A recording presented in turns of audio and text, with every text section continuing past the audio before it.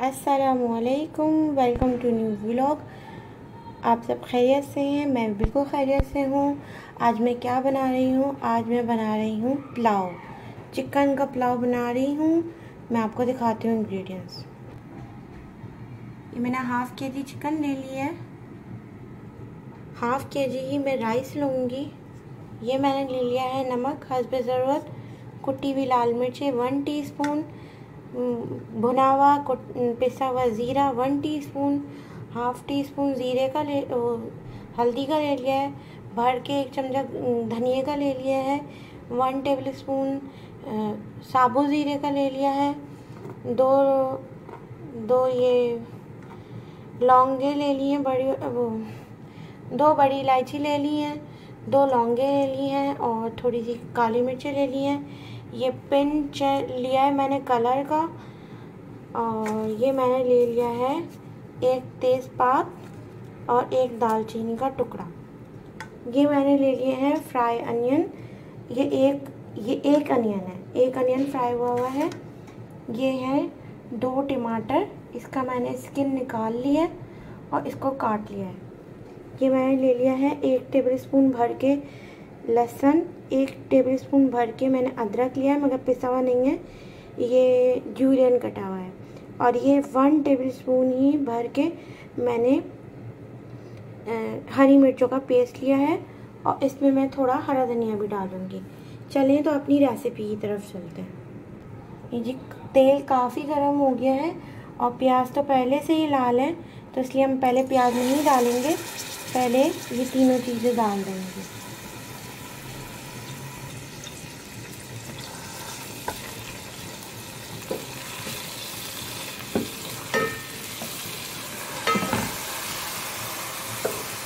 तीनों चीज़ों का अरोमा आने देंगे ऑयल के अंदर।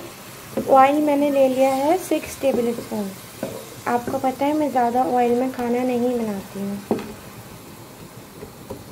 ये मैंने सिक्स टेबल स्पून ऑयल लिया है।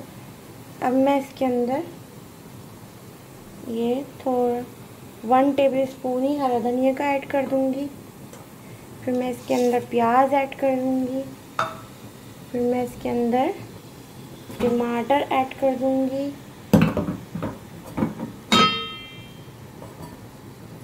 ये जी। और अब मैं इसके अंदर ऐड कर दूँगी ये सारा मसाला।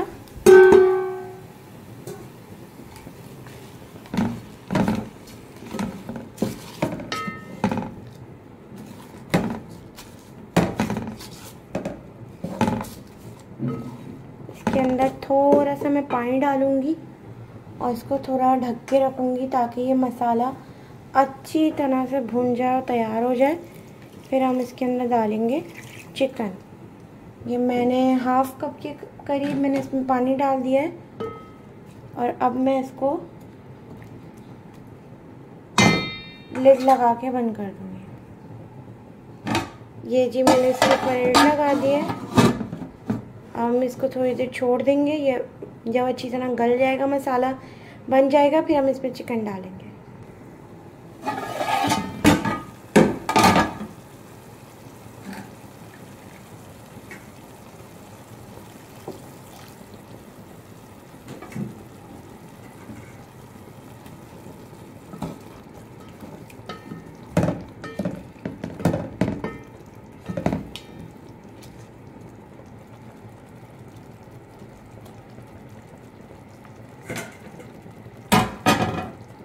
अब मैं इसके अंदर है ना चिकन शामिल कर दूँगी। चिकन शामिल कर दी इसके अंदर। और मैं इसको लिड लगा के फिर इसको भूनने के लिए छोड़ दूँगी। ये जी पुलाव की ग्रेवी तैयार हो गई है। अब मैं इसके अंदर, ये मैंने हाफ़ के जी राइस अपने बासमती राइस है।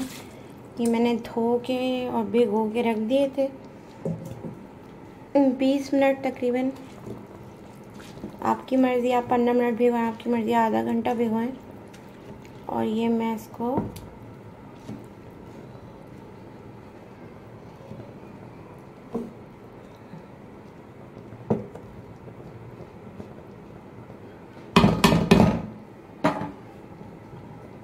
मैंने आपको बताया हुआ है कि मैं दो पूरी पानी की डालती हूँ।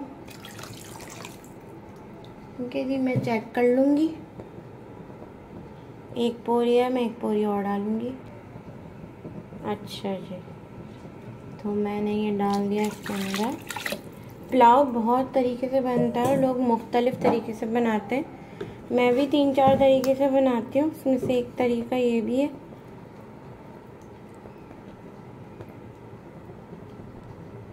पुलाव में आलू नहीं डलते हैं।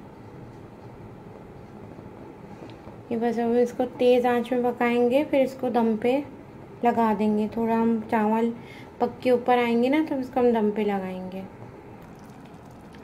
ये मैंने इस स्टेज पे, इस पर हाफ़ कप पानी का डाला है, और मैंने बिल्कुल इसको ये ना हाफ़ पक, हाफ़ डाले हैं अभी चावल ना।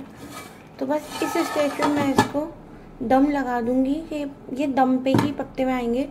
मैं इसको आधे घंटे तक हाथ नहीं लगाऊँगी। ये आधे घंटे दम पे रहेंगे और ये इसी स्टीम में और इसी पानी में पकते हुए आ जाएँगे। ठीक है जी, फिर मैं आपको डिश आउट करके दिखा दूँगी। अच्छा जी तो ये मज़ेदार सा पुलाव हमारा तैयार है। बिल्कुल रेडी है। मैंने आपको कहा था मैं आपको डिश आउट करके दिखाऊँगी। ये देखें खिले खिले चावल हैं। देखिए, बिल्कुल मैश नहीं हुए हैं। उसी टाइम पे आपने इसको दम लगाना है, ये बिल्कुल सेट रहेंगे इसके साथ ये हमारा रायता है और ये हमारी सलाद है। सलाद के अंदर हमने टमाटर, प्याज और बंद गोभी थोड़ी घर में पड़ी हुई थी, वो भी डाल दी और खीरा वो भी डाल दिया। ठीक है जी, ये सलाद बना ली है कचूमर की तरह और ये हमने इसके साथ पुलाव है हमारा मज़ेदार सा। और इसके साथ हम इंजॉय करेंगे। अगले व्लॉग में मिलते हैं आपके साथ। इन आप हमें दुआओं में याद रखिएगा। और जी, चैनल को लाइक सब्सक्राइब एंड कमेंट कर दीजिएगा। बेल आइकन दबाना मत भूलिएगा। आपसे याद चाहती हूँ। अल्लाह हाफिज़।